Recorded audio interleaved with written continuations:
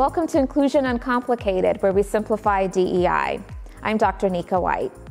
Real work of racial equity starts within. Oppression cannot be eradicated without conviction and intention.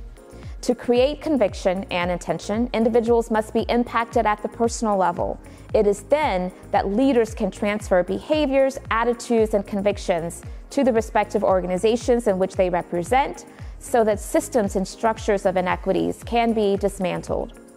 Consider the fact that people make up institutions, and it's the people within the institutions who are developing these systems, practices, procedures, and processes as well as shaping and driving the culture.